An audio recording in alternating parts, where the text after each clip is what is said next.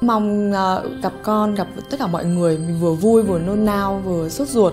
Và chỉ mong là cái ngày đấy đến thật là nhanh. Từ sân bay đi ra thì thật sự là mình rất bất ngờ khi bố mẹ à, rồi các bác rồi mọi người bạn bè mình không nghĩ là mọi người sẽ đến đông vài chục người như thế. Khi mà bước xuống sân bay rất là bất ngờ bởi vì cả cô dì chú bác các anh em bạn bè thân thiết của mình. Mọi người cầm hình ảnh của mình, chào mừng mình trở về. Và đặc biệt cái biệt danh em trã của mình lại xuất hiện ở trên sân bay, nó làm mình rất nhớ những cái ngày mà mình còn béo.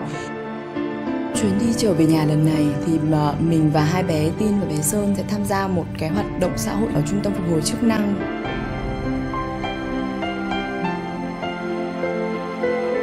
Khi mà mình đổ vỡ hôn nhân thì mình cũng đã có nghĩ rằng là tại sao mình lại bất hạnh đến như thế nhưng thực sự đến cái giây phút mà mình được chứng kiến những bé ở đây, thì mình thấy rằng là cuộc sống của mình và hai con còn quá là hạnh phúc và đầy đủ.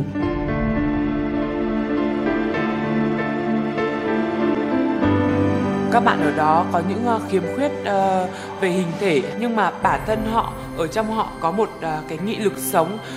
Từ những người bạn ở đó thì mình cảm thấy là mình học tập được rất là nhiều